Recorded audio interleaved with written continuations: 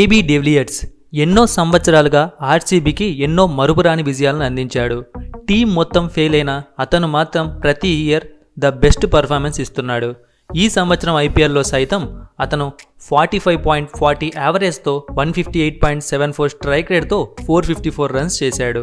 IPL twenty ట్వంటీలో Mumbai Indians విజయం సాధించిన తర్వాత ఏబీ డెవిలియర్స్ తన ట్విట్టర్ ఖాతా ద్వారా స్పందించాడు. ముంబై టీం గురించి ట్వీట్ చేస్తూ ముంబై చాలా బాగా ఆడారు.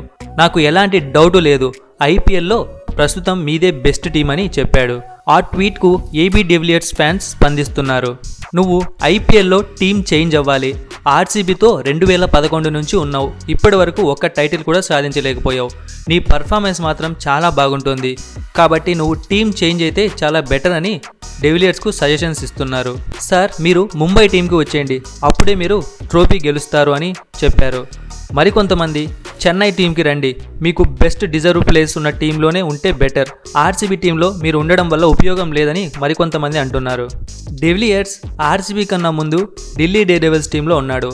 ఆ తర్వాత ఆర్సీబీ టీంలోకి వచ్చాడు. అప్పటి నుంచి అతను ప్రతి సంవత్సరం తన ఎఫర్ట్స్ మొత్తం పెట్టి ఆర్సీబీ విజయాల్లో కీలక పాత్ర పోషిస్తున్నాడు.